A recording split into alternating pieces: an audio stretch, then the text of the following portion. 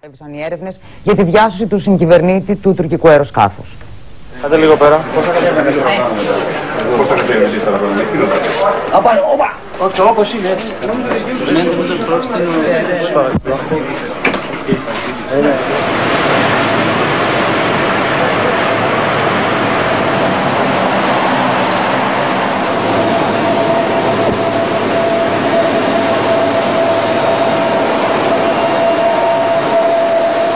επίλογος του χθεσινού επεισοδίου στο Αιγαίο, τουλάχιστον όσον αφορά τον Τούρκο της Μήναρχο τη Εκλή Οσμάν, κυβερνήτη του μοιραίου F-16, γράφτηκε στις 3 το μεσημέρι στο αεροδρόμιο της Χίου όταν ένα ελληνικό C-130 τον παρέλαβε για να τον μεταφέρει λίγο αργότερα στο αεροδρόμιο Τσίλι της Μήνης και να τον παραδώσει στις τουρκικές αρχές.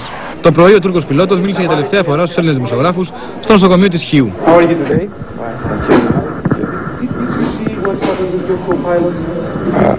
I, I couldn't see his parachute. I couldn't see.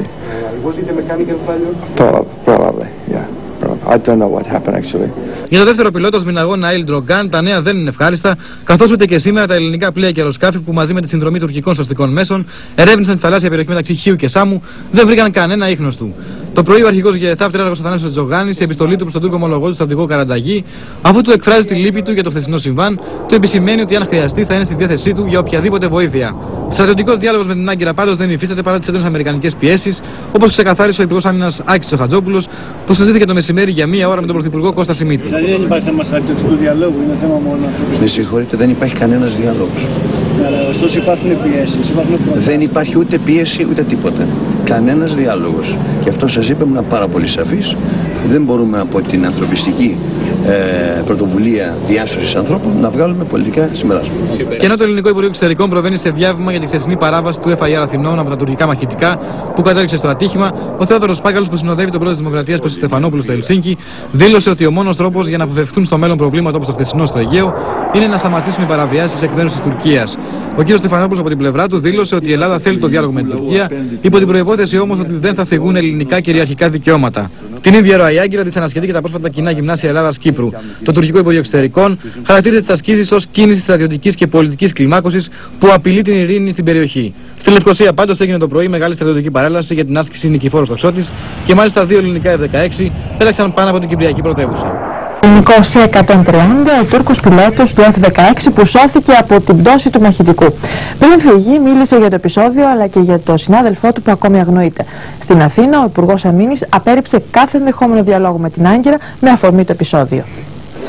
Έξω από την εντατική του Σκυλίτσιου νοσοκομείου της Χίου, τα μέτρα ασφαλείας ήταν από το πρωί ορατά. Τον Τούρκο πιλότο επισκέφθηκαν στην εντατική αρκετοί γιατροί του Πανεπιστημιακού Νοσοκομείου και Έλληνες στρατιωτικοί.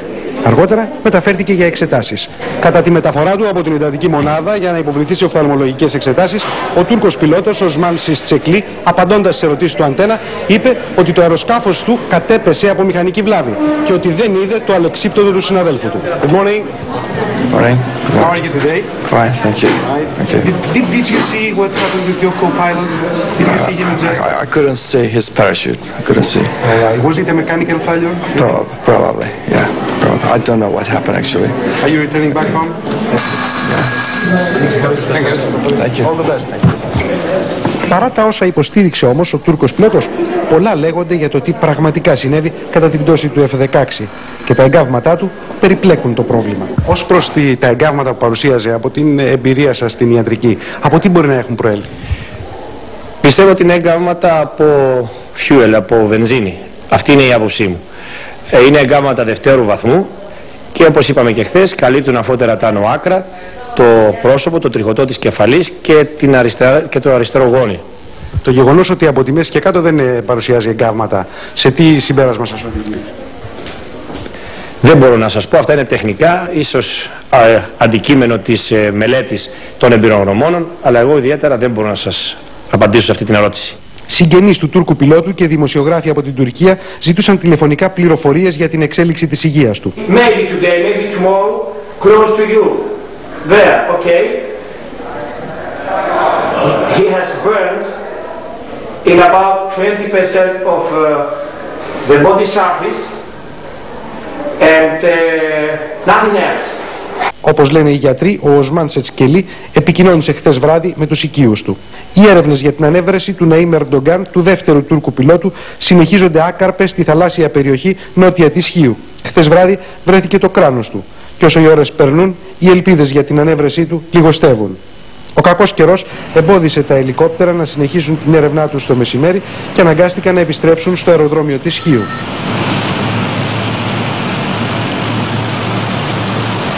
Το C-130 που θα μεταφέρει τον Τούρκο πιλότο στην Τουρκία ήρθε στις 3 η ώρα για το γεωδρόμησε εδώ στο αεροδρόμιο της Χίου.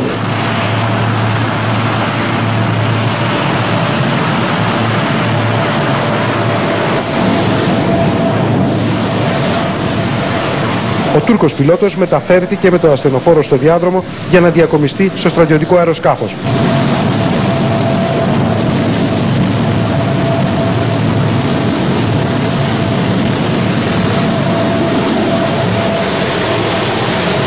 Με την αναχώρηση του ελληνικού C-130 για τη Σμύρνη, η περιπέτεια για τον ένα από τους δύο Τούρκους πιλότους τελειώνει. Ο άλλος αναζητείται ακόμη στα παγωμένα νερά του Αιγαίου. Νικόλας Βαφιάδης από το αεροδρόμιο της Χίου για τον Αντένα.